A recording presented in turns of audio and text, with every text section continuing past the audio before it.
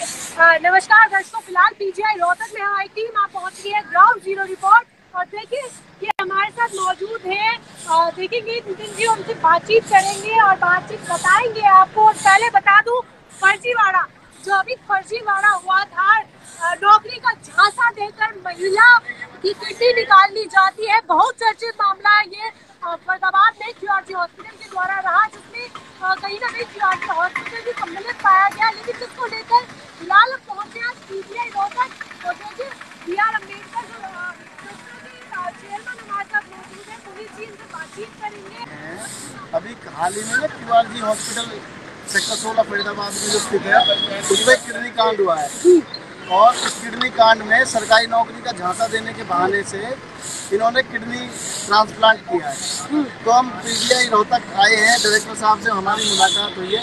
Director साहब ने हमें आश्वासन दिया है कि इस जो ये ट्रांसप्लांट किडनी ट्रांसप्लांट जो लाइसेंस है इनका इसको हमने रद्द कराने के लिए अपनी मांग की है और उन्होंने हमें आश्वासन दिया है कि इसको जल्दी से जल्दी रद्द कराएँगे। इसके खिलाफ सख्त सख्त कार्रवाई कराएँगे। क्योंकि जो ये क्यूआरजी हॉस्पिटल है ये आज से ही नहीं ये 1978 से सट के दायरे में है। बाबा साहब डॉक्टर भीमराव अंबेडकर जी के नाम से ज़मीन अलॉट हुई। Harijan resident social development school के नाम से ज़मीन अलॉट हुई। बार बार इसको रद्द कराया जाए। सरकार की नाक के नीचे, सेंट्रल सरकार की नाक के नीचे और हरियाणा सरकार की नाक के नीचे इसको बार बार लाइसेंस दे दिया जाता है। अभी हाल ही में चार दलित लड़कों की वहाँ पे मृत्यु हो गई। इन्होंने गटर में बिना किसी इक्विपमेंट के उन्होंने उतार दिया और उसके बाद उनकी मृत्यु हो गई। और उस पर कोई कार्रवाई हुई नहीं हॉस्पिटल के खिलाफ।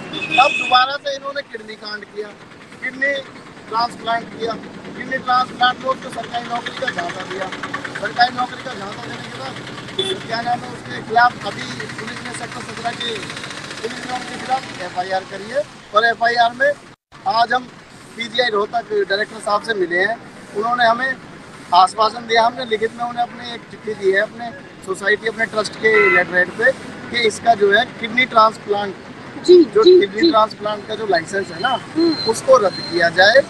उसको रद्द करके इस हॉस्पिटल को बंद कराया जाए सर एक बार नाम बताएँ अपना I am Dr. S. S. Locher, Director PGI MS Rohtak. जी आ, सर आज आपके पास एक संस्था आई है जिन्होंने आपको एक ज्ञापन सौंपा है क्यूआरजी हॉस्पिटल के लिए कि वहाँ पर एक फर्जीवाड़ा हुआ है और किडनी निकाल ली गई है महिला की उस पर आप संज्ञान लेते हुए क्या आगे कार्यवाही करेंगे अगर वो संलिप्त पाया जाता है ऐसी उसमें ये एप्लीकेशन हमें अभी प्राप्त हुई है और हम इस पर पूरा संज्ञान लेंगे कि एक्चुअल में what happen there and accordingly the action will be definitely taken ji.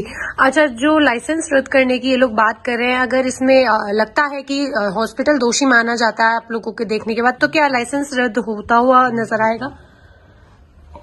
Kidney transplant का? Yes, we will study the case and if it was found uh, there is some major error or mistake on the part of the hospital, definitely we will take action.